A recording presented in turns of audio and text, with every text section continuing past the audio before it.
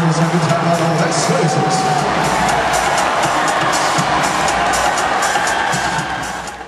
yung maging matchup namin, uh, I think we're far more better than our first game against Talk and.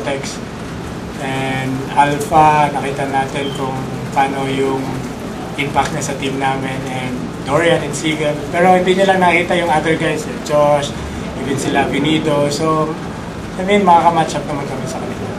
We just all want to be there. They have they've been there, so I, I just want to get to where they've been. So um, we're excited. We, we're not content with the quarterfinals, entering the semis.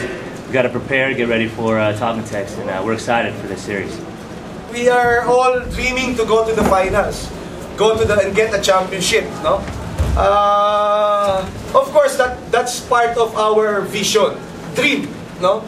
Pero syempre, we go one game at a time. Uh, it started from uh, rain or shine, last four games in the elimination. I think this is the sixth uh, do or die for us, if you will count it. Kasi kung natalo kami sa rain or, or shine, wala na. Puro non-bearing na yung game namin. But I salute my players, no? Ah, talagang gusto nilang ano, ah dumire-diretso. And this is not an easy ano, easy team. This is Alaska and Team Cone is a, you know, 13 championship, great experience. Uh, I I I I uh, respect him so much.